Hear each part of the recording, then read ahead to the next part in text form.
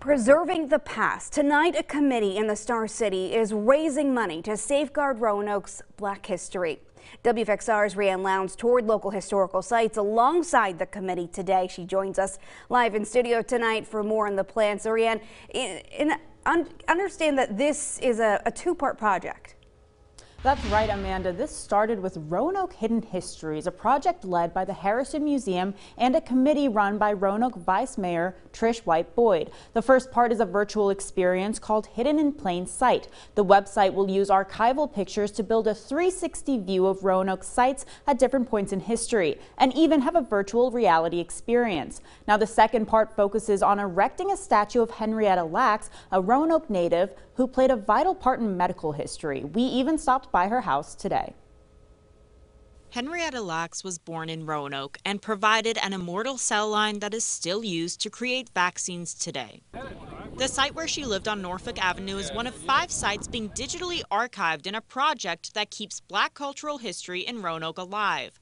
While touring sites, Vice Mayor Trish White Boyd and the team even met a woman who grew up visiting that very house while it was still standing, when it hosted her family gatherings and cookouts. And she even said they had plenty of pictures, so I'm certainly going to meet with her.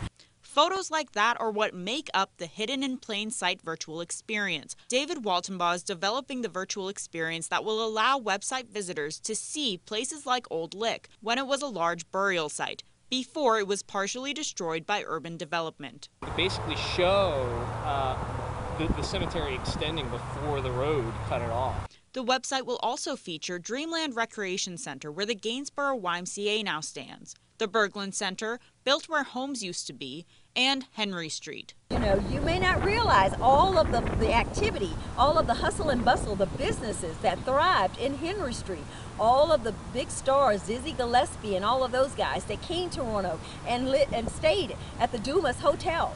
it, it is just amazing, and we want people to know this history.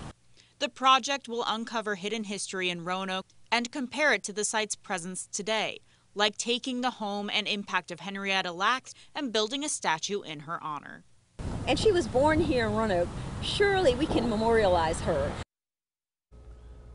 White Boyd says they're still fundraising the $160,000 for the statue and virtual project, but they're only about two thirds of the way there. If you would like to donate to the Roanoke Hidden Histories Project, you can find the information in this story on our website, WFXRTV.com. Live in studio, Rianne Lowndes, WFXR News.